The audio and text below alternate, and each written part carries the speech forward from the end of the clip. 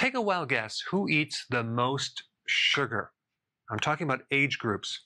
This group right here between the ages of 11 and 18. Teenagers.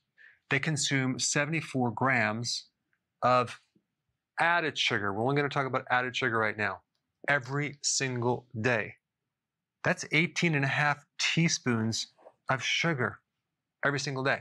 But check this out. If you're one and a half years old to three years old, you consume 36 grams of sugar. That's nine teaspoons every single day. That's crazy. Now, that's not even the tip of the iceberg because what I'm going to tell you next is going to shock you.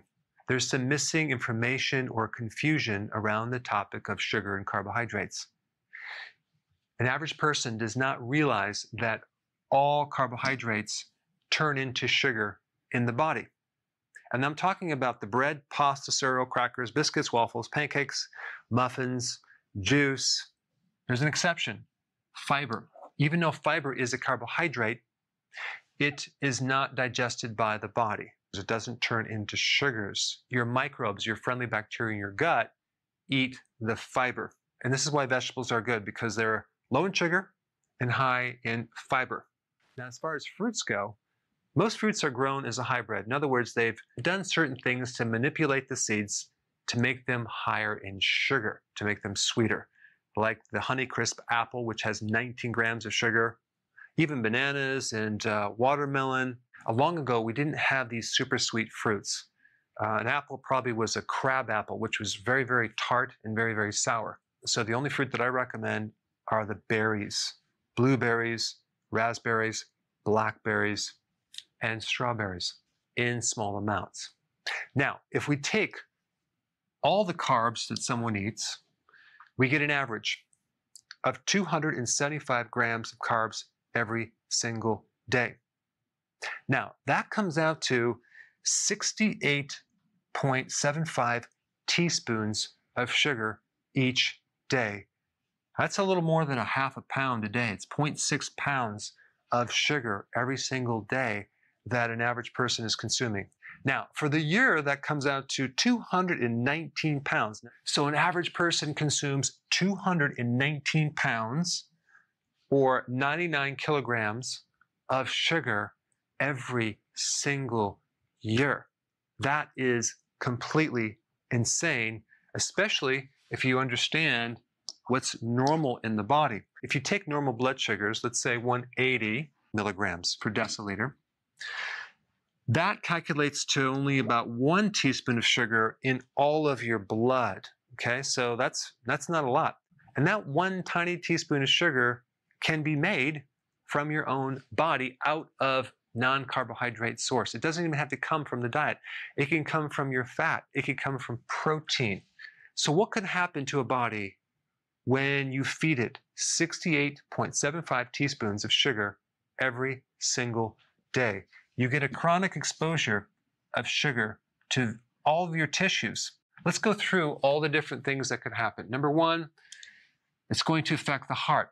And a lot of these conditions can occur even before you get diabetes, but diabetes is usually inevitable. Take a look at the statistics of diabetes, and it's just, it's like an epidemic. But chronic exposure to glucose on the heart valves, destroys the heart, causes high blood pressure. It leads to a clot and even a stroke. It can affect your teeth. It can affect your breath because sugar feeds certain bacteria that give you bad breath. It severely affects the brain. It can give you ADD, affecting your attention and your focus because it affects the cognitive part of your brain, which is memory, focus, and concentration, as well as your ability to learn it can definitely affect your overall mood, making you irritable, giving you anxiety, and even depression. It can keep your brain in a state of fog so you can't think clearly. And over the years, it can lead to dementia and Alzheimer's, which is considered diabetes type 3. It can definitely affect the hormones. Take a look at someone who has PCOS, polycystic ovarian syndrome. The high levels of sugar that raise insulin increase another hormone called androgens. If you're female, you get excess facial hair, you have hair loss, your voice goes a little bit deeper, you get a gut It can severely affect your skin in a negative way, causing not just acne, but all sorts of inflammatory conditions of your skin. It creates a lot of inflammation in your joints, creating all the itises, bursitis, tendonitis, arthritis. It can affect your endurance if you play sports. You're just going to run out of gas prematurely. You're going to be tired most of the time. You're going to have the need for glasses eventually simply because high uh, levels of sugar running through your blood vessels go through the inner eye and affect the circulation to the nerves, causing a lot of problems with the eye, including diabetic neuropathy eventually, cataracts, glaucoma, blurriness, and it can even affect the shape of your lens. All right, next one is the obvious one, belly fat. Once you fill up the liver with fat, it spills over around the organs, causing belly fat. If you have belly fat, there's a good chance you have a fatty liver. And the fatty liver leads to inflammation, which then leads to scar tissue. So that could actually develop into cirrhosis, which is advanced scar tissue of the liver. Nerve pain in the bottom of the feet and the fingertips. But other than that, I think there's no other symptoms that you'll get, so you're going to be good to go. All right, so I think it would be a really good exercise for you to take just one day and evaluate how much sugar you consume per day. You can get one of these apps that measures the carbs, so you can get some idea of how much sugar you actually eat on a yearly basis. And maybe that will be very motivating to avoid all of these conditions. Thanks for watching. Hey, before you leave, I just wanted to give you a little quick history on some of the books that I wrote. This was one of the first books. It's called Dr. Berg Body Shapes. It was my attempt at um, writing about body types. Uh, what was very interesting about this book is I actually did all the images myself. Uh, don't ask me why. Um, they look actually not quite as professional as some of the uh, images that I have in the new book. But anyway, this is my first attempt right here called Dr. Berg's Body Shape Diets. Uh, and then I wrote a book um, more extensive called The Seven Principles of Fat Burning. I don't even have a copy anymore, actually, um, because it's outdated. Uh, the next book, uh, I put about a thousand hours into this one right here called The New Body Type Guide. Major updates on the body types. Uh, I put a lot of energy into this. Uh, it has professional images, graphics, all sorts of things. Now, the problem with this book is it doesn't really describe what this is really about. Body types are only a small portion of what's in this book. And that's why I changed the name to the Healthy Keto Plan. Okay? If you happen to have this book, you don't really need this book because there's some only very, very minor updates. But if you don't have this, you need to get this one right here. Um, this book goes into every single detail that you would ever want to know about.